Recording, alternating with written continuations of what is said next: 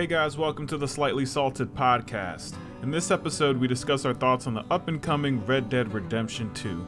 We give our feedback on the recently released trailer, which has now been confirmed after our podcast that all of the footage captured was using the PS4 Pro in 4K. Tell us what your thoughts are about Red Dead Redemption 2 and if you plan on picking it up when it comes out. So, Anton, I'm gonna leave it to you. Start us off. We were just talking about how I am super skeptical that it's actually gonna look this good on PS4 Pro, even. I think I'm hopeful. I think there's a lot of people that if you showed them this trailer for the very first time, uh, probably like their intuition would be like, oh yeah, this is probably running at a very like high end PC, and the main reason for that is that like there's some details in this trailer when you actually like break it down that are kind of crazy. Like so, wagons are leaving marks in the dirt. Um, there's a scene where there's a couple of horses and they're leaving sort of um, trails in the snow. And that's really taxing like from a physics perspective. And because you're doing all of that like live as the as it's uh, as the action is taking place. So who really knows? I mean i wish they would have showed something at the very end of the trailer that said you know like gameplay captured on playstation 4 pro or something like that. Yeah, they did. But- they did put that part in there that said like this was all in real in-game footage, but Yeah. that doesn't technically Yeah. specify Ex- whether that's you know PC or PS4. Exactly. Exactly. I look. I hate to go back to it, but Destiny, when that first got revealed as you know in-game footage, and everybody's like, "Oh my god," and then it wasn't that. I, I really hope Rockstar wouldn't do that. I don't think they have a history of doing that. Yeah, so that's This- that's what I this was gonna say. Gorgeous. Like you know, uh, they they could have done something like that for GTA, and we really didn't. I don't I don't remember anyone feeling that way that they got gypped in some way where GTA Five the you know trailers looked so much better than what it was on the on the consoles, and that was way before PC came out. So I mean, like Yeah. I, I think the way that I view this is, look, I mean, maybe it's not exactly the same, or maybe it will be, but if it's not and it runs smooth, it's gonna be a great fucking looking game. Oh, yeah. So uh, GTA Five is a little weird one though, because I mean that one did come out what PS3, then That's. PS4. that's true. optimized for whatever, HD or whatever, remastered. Granted, Yeah. I bought it each time, and I'm assuming that's what Rockstar's going to do again. They're going to put it PS4 and Xbox, so I'm going to buy PS4. A year later, they're going to come out on PC. I'll buy it on that. Then they'll PS5 fucking make it VR, you know. PS5, Switch, and by the time, if this is half as good as the trailer looks, I'll own it six different times. So fucking you win, Rockstar. Yeah, I agree. I mean, I think regardless of what ends up happening, I don't think that this is going to be a case of like the division where we saw, you know, the E3 trailer and it was like, whoa, this looks doesn't even remotely look close to that game. I Right. think that they're going to probably deliver on this. Uh, my biggest thing is that I just hope the gameplay is smooth. Um, so one of the things that I was able to kind of pick out from this trailer is just how fluid like the hand-to-hand combat is Yeah. and the shooting Yeah. mechanics. And for me, like that means like frame rate needs to be solid, right? Like in order for you to have a good experience, and especially in an online environment, right? So like when we go to transition over to multiplayer, hopefully that you they can at least push like at the very least 30 FPS stable. Um, but and, and again, this is completely unknown. Only time will tell. Obviously, we won't get a beta for this game or anything, so it's really just going to be Yeah, like day good point. one, see what happens. Um, one interesting little fact that we see sort of at the very end is that they disclose that there is going to be, uh, it looks like a, a few more featurettes uh, before release. You know, like they talk about Yeah. the combat and I think Missions, like and missions. missions and stuff. Which Yeah. is one thing watching this trailer, like I I'm not one to just walk around in games often, to be honest. Um, Red Dead Redemption, the first one I did for like a little bit, that was really cool. Skyrim, do for an extent, but as soon as I, you know, get those quick travel points, I'm a busy man. I'm gonna fucking fast travel. This game I might not. Like even in the trailer when they show like not even going around on horses quickly, but like literally just walking, that looked fun to me, which is weird to say, but just walking through that forest, the alligator, crocodile, whatever, coming out, just seeing all this as they put, I think more deep in open world environments, I'm all about that. The missions are great, but I honestly just exploring this game sounds like it's gonna be worth the money. Yeah, they've done a good job at really trying to keep you into the game, right? And even when you look at this historically, the reason I feel so good about this game is because, you know, Rockstar's done a great job at building up their franchises layer by layer and seeing the improvements upon them, right? So when you look at a Red Dead Redemption and look at what that was, what that multiplayer was, and then migrating that into what GTA 5 is and layering that, and now, you know, I know they're going to take those aspects and the, the goods and, and get rid of the bads for this. Like, I'm so right. excited for it. But Red Dead Redemption was one of those few games where I did actually complete all the way through. Um, I was that guy that was taking my horse and going from town to town, and just because you know travel and the things that you would find out in the middle of nowhere, they just had little random you know side missions or things that would just happen, like people that would try to rob you or act like they were in distress, but then you know pull out a gun. Um, I'm super excited for that, and I think that this is going to transcend that really well. And I think what's really good is Anton was mentioning to me about how important the horses are and how they're really trying to get you connected to your actual yeah. horse. I'm so excited for that because I do remember in the other one where I didn't didn't have that connection, right? But just oh, yeah. you know what you can do with this now is just it's on another level. Get a ha- get a horse, leave it. It dies. Okay, let me grab another one. This right. one, if my horse dies, I feel like I'm gonna freak out yeah, and probably I, take out the whole town. Yeah, I think like the, the biggest thing that I get from this trailer is how varied this world is, um, which is something that I always worry in a game that's this wide open. Is like, are you going to get those varied environments? But this feels like the there's like the desolate parts, but there's also the parts that feel like they're very lived in, and um, and like when you walk through some of those towns, you're just like it's blown away. Honestly, I had to slow down the footage multiple times just to be like, wow, that's a lot of details that they're putting into these little in every little nook and cranny for you to discover, and that's always exciting. So, um, the other thing too is like, uh, just like we get kind of a glimpse at it in here, but like all the side activities and like the hunting, it seems like fishing is going to be a thing. Um, right. Obviously, horseback riding, we expect that. Probably race, uh, you know, horseback racing and things like that.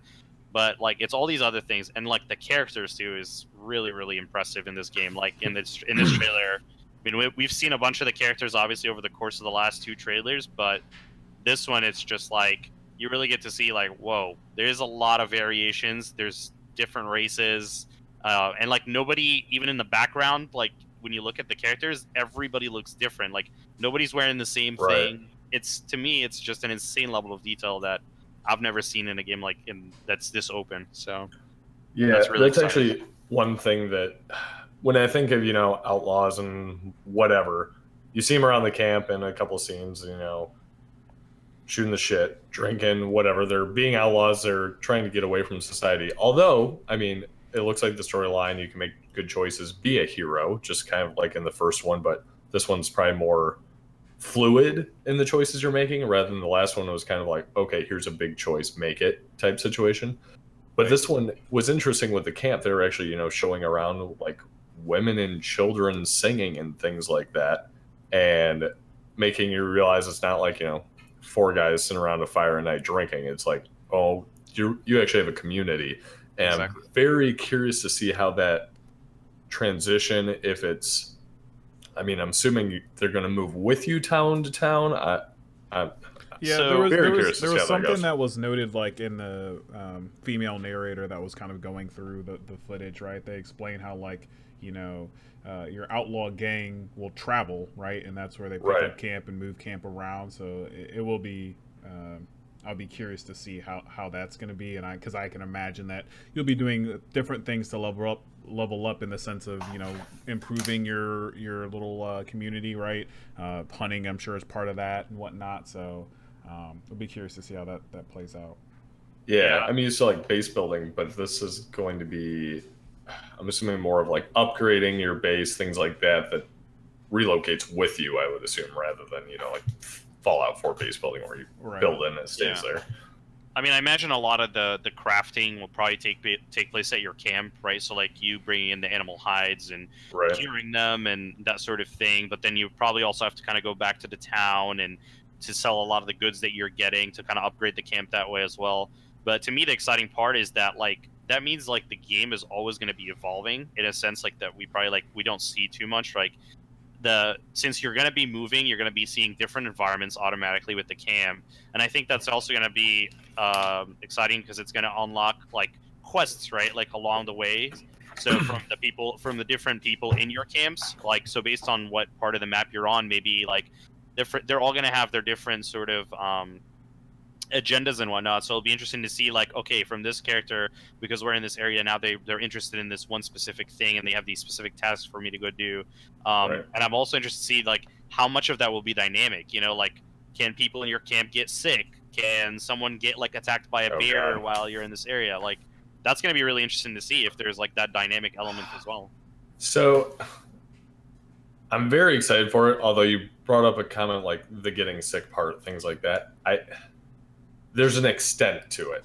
oregon There's Trail. a really fine balance. Yeah, fucking Anton Oregon wants Trail, Oregon Trail like 2018. with this mixed I together. want, That's his I dream. want the Oregon Dream to come back. I want it. This, this is especially there's a there's a clip in the trailer where you see like the wagons moving right with your whole camp, and I'm just thinking to myself, oh my god, like if they can combine that survival element with it, it would be fantastic. So, I if there's a separate mode for that, I will play the shit out of it. But if that's kind of like a routine thing where it's like, oh no, I got to go back to camp and heal this person. I'm in the middle of this cool thing, but I don't want to let someone die. I'm that is a very fine balance of taking care of your camp, upgrading your camp, and everything, versus it becoming a chore. No, So, I, I I- agree. I don't I don't think they would build like some kind of uh, like UI where you're managing your camp. Like let's say like you're talking about like you're in the middle of a mission or you're in town. The last thing you want is to have like a UI pop up and it's like uh, Patricia has been bit by a snake. Do you want to like Dude, figure out how to handle it, you know? That's what State of Decay 2 honestly kind of became for me. Like it was cool. I like the kind of concept and really, I mean, Yeah. Super No, Mario Bros. I- We I- played that a bit, but I, we didn't get that far. But even that part, I was like, oh god. No, I, I really, and I, and I was telling like Deion this. I think that this is a fantastic idea, um, which lends, uh, I guess, uh, us into kind of like another point, which is how big is this map really going to be? That's a really Yeah. important thing, because uh, if that is a multiplayer mode, that would be an incredible idea, right? Uh, because you're going to be with your camp at all times. You don't have to go off in random directions. You're there to manage these things as they happen. But that's going to play a big part of like is this map large enough that I can start at random points and end at other points or whatnot with my camp? So I think I think multiplayer is the most. I'm so curious on how they're gonna play that out. Right, the story's super compelling. Right, like I'm already sold. Right, and Yep. even with like Grand Theft Auto, like I knew what multiplayer was gonna be like. Right, like I knew it was gonna be a city. There's gonna be a bunch of players in it, Yeah. and you know I knew it was gonna happen. With this, it's like. I know there'll be something that are like heists. I'm sure there'll be bank robberies where you do that with your friends, but I don't know. It's just I don't know what like how they're gonna incorporate that, how you're gonna team up, if it's just a big world and you're all kind of sporadically in there like Grand Theft Auto. I don't know, man. I I'm really curious to see how that how that's really gonna be. I I think based off of GTA 5's success with multiplayer, it's going to be honestly, I think a similar model. Obviously, it's going to be a little different being in the Wild West and everything, but I think there's going to be either you can go in the environment, you know, with a server of uh, honestly, I hope it's a high number, 50, 100, something like that.